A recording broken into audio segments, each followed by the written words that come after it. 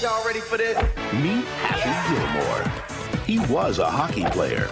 Don't you ever touch my puck! Now he's going from the rinks to the links. Where you going with those clubs, punk? I'm your caddy. He's got the swing.